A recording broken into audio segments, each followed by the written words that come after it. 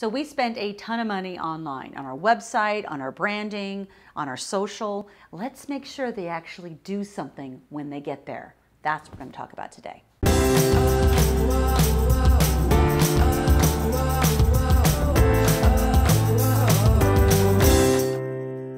I think the dream as a business owner is that every single person who comes to your website is going to take some kind of action, whether it be sign up for your newsletter, follow you on social media, read your content, subscribe to your blog.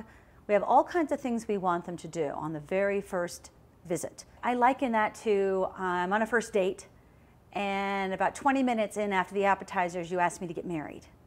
And then I make my emergency text to my friends so I can get out of the restaurant you have to understand that that's not necessarily what the visitor wants to do, it's what we want them to do.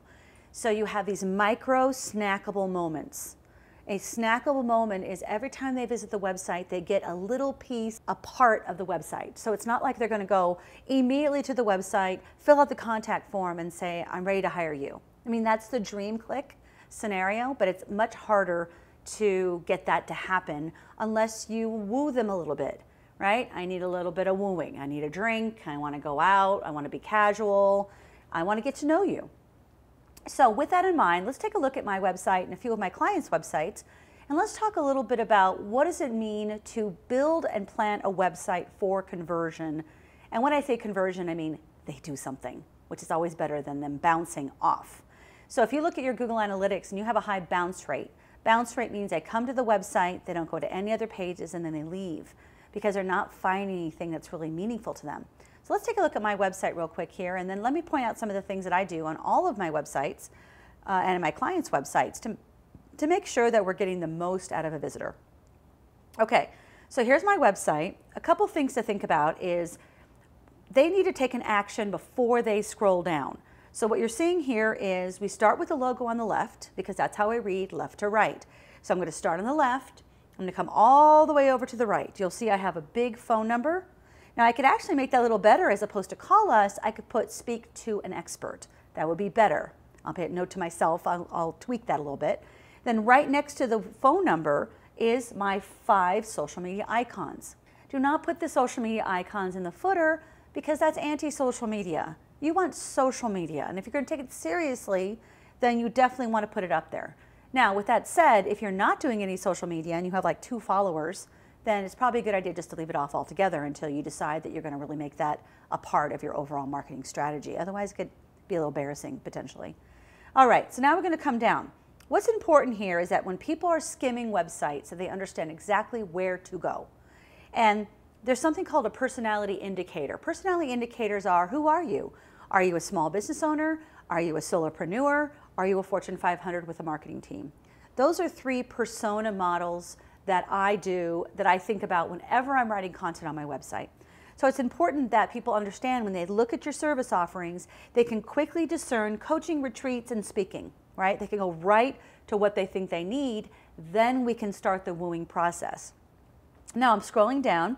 So here you'll see that all of my YouTube videos are right there. So I want people to know that when they come to my website, I have touched it every single day, even with just my YouTube feed, because we launch you new YouTubes Monday through Friday. So I have a feed there so people see my most current work and that I am on my A game. I'm not just building a website and never touching it again. So what happens is, you know, Google comes to your website right after you launch it, usually 24 to 48 hours, and then grabs all the content, comes back in another 24 hours and says, what do you got, what do you got? And, and nothing. Then it comes back in 48 hours. What do you got? What do you got? Nothing. So what's happening is you're training Google to ignore you. So by adding new content to your homepage or to your blog as often as possible, you're training Google to pay attention to you. And the more they pay attention to you, the more better you're going to rank. It also, when it comes to conversion, when someone comes to your website, they see that your videos are current, your blogs are current, you are on, you know, you're at the cutting edge of your field. Now scroll down you'll see that I've got any time you can create a score or an assessment. People love assessments. So what I want you to think about is what kind of assessment could we come up with? Something very simple that you can do to get people to do something on your website. I used a tool called Quizzer and it's Q-U-I-Z-Z-R.com. And Quizzer, you go in there and say, what's your website personality? And so I came up with three questions for each personality. So you have a Taylor Swift website, you have a scandal website, you had a, a grumpy website, and then it was something else. Like they were all celebrities, and you could attach a celebrity with your website personality. Now that's just a really simple, fun thing to do. But for me, I've got this grading tool you see in front of you. You put your domain name, your email address, and then your phone number, and you're instantly able to get a score. People love a score. And then I collect those email addresses and then I remarket to them. But they get something instantly and I get their email address, which is great. Then you'll see here that if you really have a complicated selling process, having a map is very important. So you'll see here that I have what I call my Candyland map. So they can go in. Now each one of these is clickable and each one is animated. They kind of shake a little bit. So that as people are going through it, and as soon as people ask me, how do I work with you? I immediately take them to the map and I walk them through the process. So whether it's attending a retreat, whether it be hiring us for private coaching or bringing us in to work with your marketing team, it's the same process for everybody we work with. And then finally, as you come down here, there's credibility icons. Now these credibility icons are called trust indicators. And a trust indicator is where I can just scan over those and I can see that you are someone who knows their stuff. Don't fill up the whole page with icons. That's so irritating. It's almost like you're beating your chest and saying, pay attention to me. I want you to think about the fact that you can have these icons, but put them lower on the page. And also, you know, make sure that I can find your phone number. That's the best thing you could possibly do. And of course, contact us is right there as well. So when you're thinking about conversion, remember it's not about you. It's about remembering that when people visit the website, they're all showing up at a different level in their decision-making process.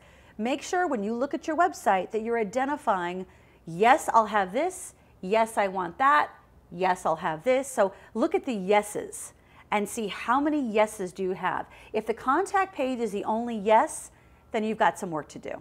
If you have a website or you're getting ready to build a new website, let's talk. You can sign up for a findability review. I'll get on the phone with you for an hour and we'll take a look at your website and see maybe why is it you're not getting those conversions that you really want.